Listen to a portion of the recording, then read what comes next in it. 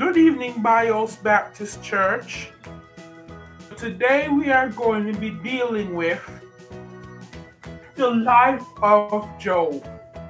So, how many of you ever felt like that you're suffering? And then how many of you come to the realization that if we just pray hard enough, that God will resolve that suffering? Amen. Now let us pray. Father, in the name of Jesus, thank you for the time that you've given us for our pre youth class today. Lord, have your way in this session, Lord, that you may uh, help us to understand that no matter how much trials and tribulations that we go through, you are always there for us and that we are always to trust you. In the name of Jesus, fill us with your word and wisdom in the name of Jesus we pray. Amen. I pledge allegiance to the Christian flag and for its Savior, whose kingdom it stands, one brotherhood, uniting all mankind in service and in love. Amen. Today's random proverb is going to come out of the chapter 13, verse 5. A righteous man hates lying, but a wicked man is loathsome and come to shame. Amen. Now, let us begin our Holy Scripture. So today we're going to get a deeper understanding of who is Job? And what trials and tribulations did he go through in his life? Please stay tuned.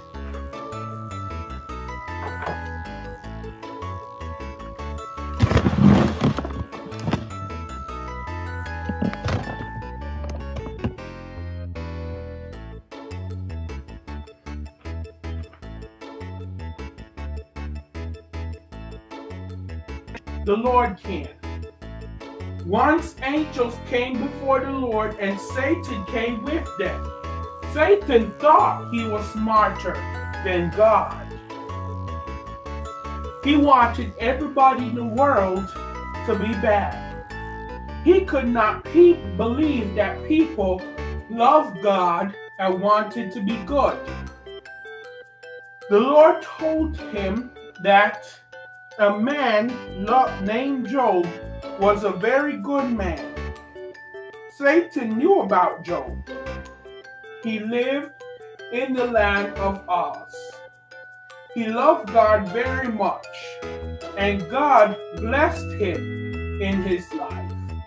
He had great herds of livestock 7,000 sheep, 3,000 camel, 500 yoke of oxen, 500 donkeys, and lots more.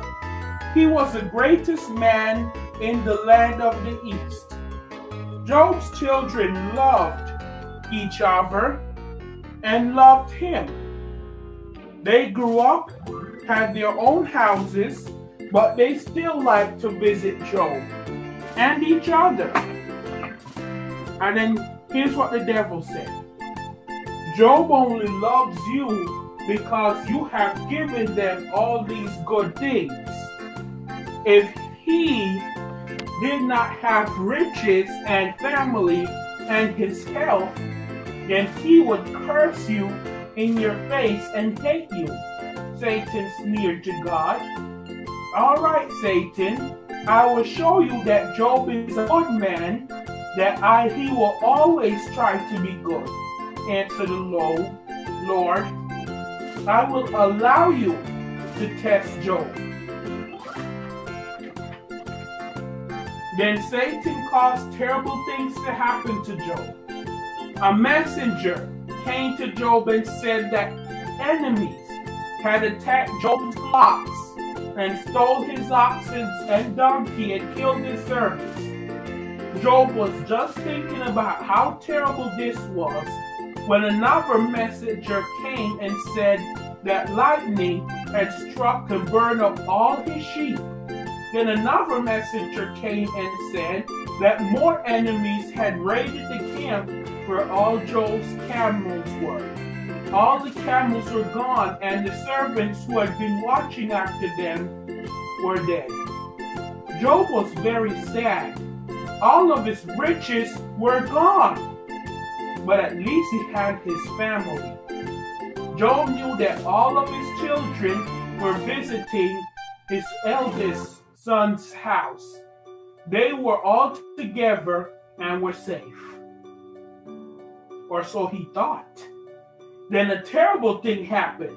Another messenger came rushing up to Job's house with more bad news.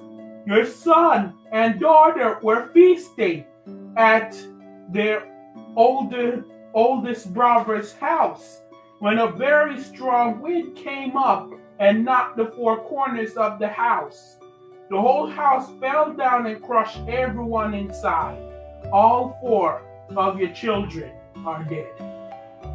Job was very upset that he tore his robe, shaved his head, and fell down on the ground and began to pray. But he did not hate God like Satan said he would.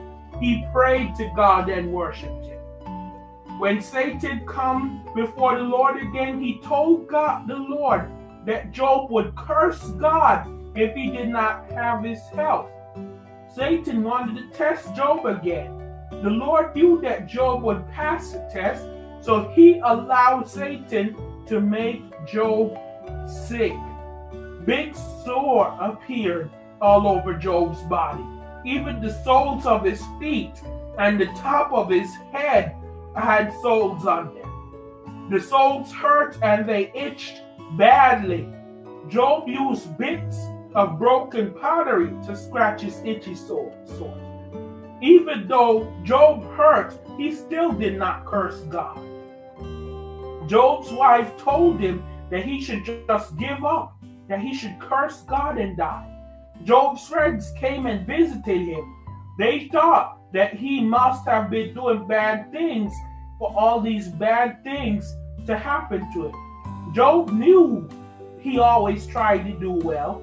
He told them that, but they did not believe him.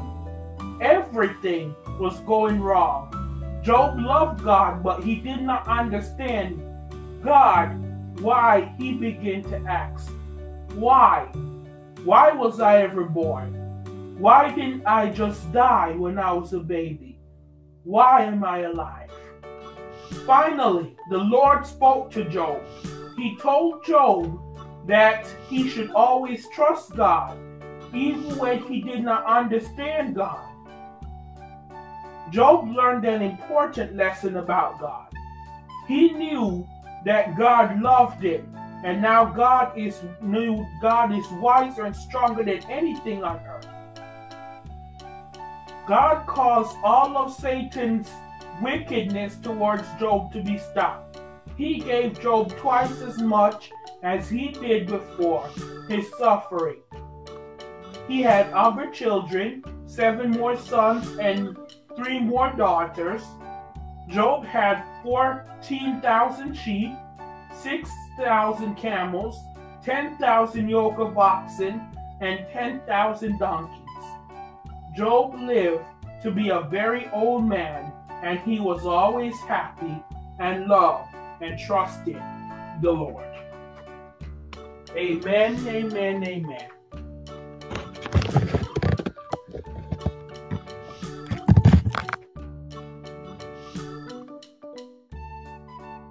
Story, but I'm afraid it's time to go. So, I'm gonna put the discussion skins up on the board. I'm not gonna read them, they're gonna be on the board for 10 seconds at a time. You can pause the question and you can take a look at them. So, as of right now, have a good day and may God bless you.